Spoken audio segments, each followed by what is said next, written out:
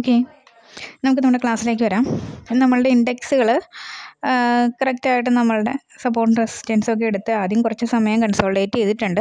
അതിനുശേഷം നല്ല രീതിയിൽ റിയാക്ട് ചെയ്തിട്ടുണ്ട് അല്ലേ? ദാ ഇവിടെയൊക്കെ നമ്മൾ നോക്കിക്കാം. നല്ല രീതിയിൽ ഇടിയുന്നുണ്ട്. അവിടെ നിഫ്റ്റി നിഫ്റ്റി നല്ല രീതിയിൽ ക്രോസ് ചെയ്ത് പോകുന്നു ഇത് നമ്മുടെ ക്രോസിംഗ് ലെവലിൽ നിന്നു. പിന്നെ റിജക്റ്റ് ചെയ്തു. പിന്നെ അവിടുന്ന് നമ്മുടെ ബോർഡ് ലൈൻ ടച്ച് ചെയ്ത് റിജക്റ്റ് ചെയ്യുന്നുണ്ട്. ബാങ്ക് നിഫ്റ്റി അങ്ങനെ തന്നെയാണ് നമ്മുടെ ക്രോസിംഗ് ലെവൽ വന്നിട്ട് റിജക്റ്റ് ചെയ്തിട്ടുണ്ട്. പിന്നെ അത് ക്രോസ് ചെയ്ത് താഴത്തേക്ക് പോന്നിട്ടുണ്ട് അല്ലേ? അപ്പോൾ നല്ല രീതിയിൽ നമ്മുടെ ഇൻഡെക്സുകൾ നോക്കി നമുക്ക് ട്രേഡ് ചെയ്യാം. പിന്നെ നമ്മളുടെ സ്ട്രൈക്ക് ലെവൽസ് സ്ട്രൈക്ക് ലെവൽസിൽ ഒരു ലെവൽ ഞാൻ ഇന്ന് പറഞ്ഞിരുന്നു. നല്ല രീതിയിൽ പ്രോഫിറ്റ് കൊടുത്തിട്ടുമുണ്ട്. ഞാൻ പറഞ്ഞിരുന്ന ലെവൽ ഇതാണ്. ഇതാ ഇവിടെ നമ്മളുടെ സി പൊസിഷൻ നമ്മളുടെ എവിടെയായിരുന്നു? നിഫ്റ്റി നോക്കിയാണ് പറഞ്ഞത് നിഫ്റ്റിയിൽ ഇതാ ഇവിടെ ഒരു സി പൊസിഷൻ കയറി കയറി കയറി കയറി ഇവിടെ ബോർഡ് ലൈൻ ടച്ച് ചെയ്തു. ദെൻ അടുത്ത സി പൊസിഷനും ഇതുപോലെ കയറി കയറി കയറി ബോൾ ലൈൻ ടച്ച് ചെയ്തു. അപ്പോൾ ഏതെങ്കിലും ഒരു പി പൊസിഷൻ കൂടി ഇറങ്ങി ഇറങ്ങി ബോൾ ലൈൻ ടച്ച് ചെയ്യണം. ഇതാ ഈ പി പൊസിഷനും ഇറങ്ങി ബോൾ ലൈൻ ടച്ച് ചെയ്ത് റിജക്റ്റ് ചെയ്ത് നിൽക്കുകയാണ് ഈ പി പൊസിഷനും അതുപോലെ തന്നെ ബോൾ ലൈൻ ടച്ച് ചെയ്ത് റിജക്റ്റ് ചെയ്ത് നിൽക്കുകയാണ് സോ അവിടെ ഒരു എൻട്രി പോയിന്റ് ഉണ്ടായിരുന്നു. അപ്പോൾ നമുക്ക് എന്ത് ചെയ്യാം? അവിടെ ഒരു പി പൊസിഷൻ കൊടുക്കാം. ജസ്റ്റ് ഞാൻ ഈ ഒരു ഇത് ക്ലോസ് ചെയ്ത് നിന്ന സമയത്ത് കണ്ടില്ല? അടുത്ത ഈ ഒരു ക്യാൻഡിൽ ഫോം ചെയ്യുന്ന സമയത്താണ് കണ്ടത്. സോ ആ സമയത്ത് ഞാൻ പറയുകയും ചെയ്തു. അതുപോലെ ഞാൻ പറഞ്ഞു അത് ഫസ്റ്റ് ലെവലിലും എത്തി നിൽക്കുകയാണ്. സോ ഒന്ന് കെയർഫുൾ ആയിരിക്കണമെന്ന് പറഞ്ഞു കാരണം. ഇത് കണ്ടോ? ബോൾ ടച്ച് ചെയ്ത് റിജക്റ്റ് ചെയ്ത് ഫസ്റ്റ് ലെവലിൽ വന്നു.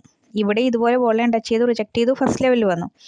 സോ നമ്മളുടെ ഇവിടെ അങ്ങനെ തന്നെയാണ്. കണ്ട? സി പൊസിഷൻ ഇവിടുന്ന് ഇറങ്ങി ബോൾ ലൈൻ ടച്ച് ബോൾ ലൈനിൽ നിന്ന് റിജക്റ്റ് ചെയ്ത് ഫസ്റ്റ് ലൈനിൽ വന്നിരിക്കുക അപ്പോൾ അവിടുന്ന് ഒരു റിജക്ഷൻ കൂടി ഉണ്ട്. അതിന് ശേഷമായിരിക്കും മിക്കവാറും പി ഫോം ചെയ്യാനുള്ള സാധ്യത. അതുകൊണ്ട് ശ്രദ്ധിക്കാൻ ഞാൻ പറഞ്ഞു. അത് അതുപോലെ തന്നെ ഇവിടുന്ന് കണ്ട? റിജക്റ്റ് ചെയ്ത് പോയിട്ടുണ്ട്. കാരണം മൂന്നും ഒരേപോലെ ഫസ്റ്റ് ലെവലിൽ ടച്ച് ചെയ്തിട്ടുണ്ടായിരുന്നു. സോ ഇത്രയും റിജക്ഷൻ വന്നു. വീണ്ടും അത് ബോൾ ലൈൻ ടച്ച് ചെയ്തിട്ടാണ് നല്ല രീതിയിൽ റിജക്റ്റ് ചെയ്ത് പോന്നിട്ടുള്ളത്. ഏകദേശം നയന്റി ഫൈവ് പെർസെന്റേജ് ഒക്കെ റിട്ടേൺ ആയപ്പോഴത്തേക്ക് എക്സിറ്റ് ചെയ്യാനും ഞാൻ പറഞ്ഞിരുന്നു. പക്ഷേ നല്ല രീതിയിൽ റിട്ടേൺ അത് കൊടുത്തു കേട്ടോ. ഇത്രയും റിട്ടേൺ വന്നു. അതിന് ശേഷം ഇത് റിയാക്ട് ചെയ്തിട്ടുണ്ടല്ലേ തിരിച്ച് താഴേക്ക് റിയാക്ട് ചെയ്ത് പോന്നിട്ടുണ്ട്. പോന്നതിന് ശേഷം അത് വീണ്ടും അടുത്ത പൊസിഷൻ ആക്റ്റീവായി കണ്ടോ? വീണ്ടും എന്ത് ചെയ്തു? തിരിഞ്ഞ് തിരിഞ്ഞ് തിരിഞ്ഞ് വന്ന് പി ഇറങ്ങി ഇറങ്ങി ബോൾ ലൈൻ ടച്ച് ചെയ്തു. ഇവിടെയും പി ഇറങ്ങി ഇറങ്ങി ബോൾ ലൈൻ ടച്ച് ചെയ്തു. ഈ ഒരു സമയത്ത് ഞാൻ കണ്ടില്ല ഞാൻ ഇൻഫോം ചെയ്തിട്ടില്ല. കണ്ടോ? സി പൊസിഷൻ ഇതുപോലെ കയറി കയറി കയറി ലൈൻ ചെയ്യുന്നുണ്ട്. സി പൊസിഷൻ കയറി കയറി ടച്ച് ചെയ്യുന്നുണ്ട്. ഈ ഒരു ലെവലിൽ നമ്മുടെ പ്രോഫിറ്റ് കിട്ടി. എക്സിറ്റ് ചെയ്യാൻ ഞാൻ പറഞ്ഞതാണ്. അതിനുശേഷം തിരിച്ചു പോയി. വീണ്ടും ആ ലെവൽ ആക്റ്റീവ് ആകുകയാണ് ചെയ്തത്. അതിനുശേഷം നല്ല രീതിയിൽ പ്രോഫിറ്റ് വീണ്ടും തന്നിട്ടുണ്ട്. ഓക്കെ ഈ രണ്ടാമത് ഇത് ആക്റ്റീവ് ആയ സമയത്ത് ഞാനത് കണ്ടിട്ടില്ല. അതുകൊണ്ട് ഞാൻ ഇൻഫോം ചെയ്തിട്ടില്ല. ദെൻ പിന്നീട് നമുക്ക് രാവിലെ തന്നെ ആദ്യത്തെ ഒരു മൂന്ന് ക്യാൻഡിൽ ട്രേഡ് എടുക്കണ്ട വെയിറ്റ് ചെയ്യാൻ ഞാൻ പറഞ്ഞിട്ടുണ്ട്. രാവിലെ തന്നെ സെക്കൻഡ് ക്യാൻഡിൽ നമുക്കൊരു ചെറിയ പ്രോഫിറ്റ് റേഞ്ച് ആക്റ്റീവ് ആയിരുന്നു. ട്രേഡ് ആക്റ്റീവ് ആണെന്ന് കണ്ടോ. രണ്ടാമത്തെ ക്യാൻഡിൽ ഇവിടെ സി ഇറങ്ങി ഇറങ്ങി ബോർഡ് ലൈൻ ടച്ച് ചെയ്യുന്നുണ്ട്.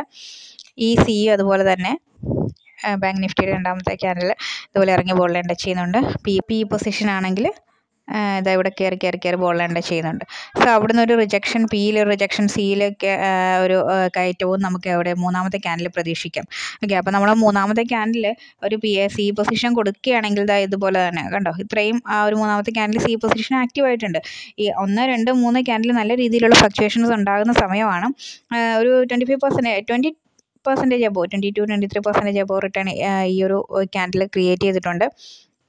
ഇവിടെ നിന്നൊക്കെ എൻട്രി കൊടുത്തു കഴിഞ്ഞാൽ ഇത്രത്തോളം എൻട്രിയുടെ കാര്യം ഞാൻ പറഞ്ഞു. ഇത്രയും താഴ്ന്നു പോയതിന് ശേഷമല്ല. ഇവിടുന്ന് തൊട്ടടുത്ത ക്യാനിൽ ഓപ്പണിംഗ് തന്നെ നമ്മൾ എൻട്രി കൊടുക്കും. കൊടുത്തു കഴിഞ്ഞാൽ ഇത്രയും തന്നെ നമുക്ക് ട്വന്റി പെർസെന്റേജ് ഒക്കെ റിട്ടേൺ പോയിട്ടുണ്ട്. അതിനുശേഷം വീണ്ടും അതേ പൊസിഷൻ തന്നെയാണ് അവിടെ ആക്റ്റീവ് ആകുന്നത്. നോക്കിക്കൊള്ളാം പക്ഷേ നമ്മൾ ഈ പൊസിഷൻ കണ്ടിരുന്നെങ്കിൽ ഞാനത് ഇൻഫോം ചെയ്യാനും മെയിൻ റീസൺ എന്ന് വെച്ച് കഴിഞ്ഞാൽ അത് മൂന്നാമത്തെ ക്യാൻഡിൽ നമ്മൾ കഴിഞ്ഞു. നാലാമത്തെ ക്യാൻഡിൽ വരുമ്പോൾ ഇതുപോലെ തന്നെ ഇടിഞ്ഞ് ബോൾ ലൈൻ ടച്ച് ചെയ്യുന്നുണ്ട്. നമ്മുടെ സി പൊസിഷൻ ഇവിടെ ഇതുപോലെ തന്നെ നാലാമത്തെ ക്യാൻഡിൽ വന്ന് ബോൾ ലൈൻ ടച്ച് ചെയ്യുന്നുണ്ട്. എന്നാൽ പി പൊസിഷൻ ഇതുപോലെ കയറി ബോൾ ലൈൻ ടച്ച് ചെയ്ത് നിൽക്കുകയാണ് നാലാമത്തെ ക്യാൻഡിൽ അപ്പോൾ മൂന്നെണ്ണം ആക്റ്റീവ് തന്നെയാണ്. പക്ഷേ ഇവിടെ നോക്കിക്കേ നിങ്ങൾ നാലാമത്തെ ക്യാൻഡിൽ ഇവിടെ താഴത്തെ ബോൾ ലൈൻ ടച്ച് ചെയ്ത് മുകളിലേക്കാണ് റിജക്റ്റ് ചെയ്യുന്നത്. അപ്പോൾ ഈ ബോൾ ലൈൻ ടച്ച് ചെയ്ത് നിൽക്കുന്ന സമയത്ത് നിന്ന് മൂന്നെണ്ണം ആക്റ്റീവ് ആണെങ്കിൽ പോലും ഒരെണ്ണം എന്താണ്? ഒരെണ്ണം ബോൾ ലൈൻ ടച്ച് ചെയ്ത് മുകളിലേക്ക് കയറാൻ നിൽക്കുന്നത് അതൊരു കൺഫ്യൂസിങ് സ്റ്റേജ് അല്ലേ?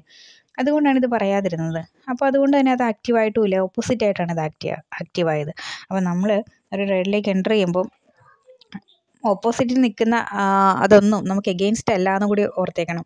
അതൊന്നും അതൊന്നും ബോൾ ലൈനിൽ അല്ല എന്നുള്ളത് ഉറപ്പിച്ചിട്ട് വേണം നമ്മൾ ട്രേഡിലേക്ക് എന്റർ ചെയ്യാനായിട്ട്. ഓക്കെ അപ്പോൾ അങ്ങനെ നമുക്ക് നല്ല രീതിയിലുള്ള പ്രോഫിറ്റ് റേഞ്ച് വന്നിട്ടുണ്ട്. കണ്ട ഇവിടെയൊക്കെ ഇത് ബോൾ ലൈൻ ടച്ച് ചെയ്ത് റിജക്റ്റ് ചെയ്ത സമയത്ത് ഈ ഒരു ട്രേഡ് നമ്മൾ പറഞ്ഞിരുന്നതാണല്ലേ? ഇവിടുന്നൊരു റിജക്ഷൻ അപ്പോൾ ഇതിൽ നിന്ന് നമ്മളൊരു പി പൊസിഷൻ എന്റർ ആകുന്നതിന് മുമ്പ് അപ്പോൾ നമ്മൾ ഇവിടെയും നോക്കണം. കണ്ടോ? ഇവിടെയും പി പൊസിഷൻ എന്റർ ആയിട്ട് ബോൾ ലൈനിലൊന്ന് ടച്ചിങ് വരില്ല എന്നുള്ളത് ഉറപ്പിച്ചിട്ട് വേണം നമ്മൾ എന്ത് ചെയ്യാനായിട്ട്? ഇറങ്ങാനായിട്ട് കണ്ടോ? സി പൊസിഷൻ അതുപോലെ ബോൾ ലൈൻ ടച്ച് ചെയ്ത് നിൽക്കുകയാണ്. ഇനി തിരിച്ച് താഴേക്ക് ഇറങ്ങാനുള്ള സാധ്യത. അല്ലെങ്കിൽ താഴേക്ക് ഇറങ്ങുമ്പോഴത്തേക്കും ബോൾ ലൈൻ ടച്ച് ചെയ്യുന്ന ഒരു അവസ്ഥയിലേക്ക് വരാൻ പാടില്ല. ചില സി പൊസിഷൻസ് ഒക്കെ മുകളിലായിരിക്കും നിൽക്കുന്നത്. അത് ഇറങ്ങി താഴത്തേക്ക് വന്ന് ബോൾ ലൈൻ ടച്ച് ചെയ്യുന്ന ഒരു അവസ്ഥയിലേക്ക് പോകാൻ പാടില്ല. അങ്ങനെയാണെങ്കിൽ നമുക്ക് ആ ഒരു എൻട്രി എടുക്കാൻ പറ്റത്തില്ല. അപ്പോൾ നമ്മളൊരു എൻട്രി എടുക്കുന്ന സമയത്ത് ഓപ്പോസിറ്റ് നിൽക്കുന്ന മറ്റ് ഗ്രാഫുകൾ കൂടി നമ്മൾ ശ്രദ്ധിക്കണം. ആ ഗ്രാഫുകൾ നമുക്ക് എഗെയിൻസ്റ്റ് അല്ല നോക്കിയിട്ട് വേണം എൻട്രി എടുക്കാനായിട്ട്. ഓക്കെ അപ്പോൾ ഇവിടെ നമുക്ക് രണ്ട് പോയിന്റുകൾ ആക്റ്റീവ് ആയിരുന്നു. ആ രണ്ട് ആക്റ്റീവ് പോയിന്റ്സ് നല്ല രീതിയിൽ വർക്ക് ചെയ്തിട്ടുണ്ട്. നല്ല റിട്ടേൺസ് കൊടുത്തിട്ടുണ്ട്. അപ്പോൾ ഒരേപോലെ വരുന്ന ഗ്രാഫുകൾ. അതായത് ഇവിടെ വന്ന് ബോൾ ലൈൻ ടച്ച് ചെയ്തെങ്കിൽ ഇപ്പുറത്തും ബോൾ ലൈൻ ടച്ച് ചെയ്യണം. അതുപോലെ മൂന്നെണ്ണം ഒരുമിച്ച് ടച്ച് ചെയ്യണം.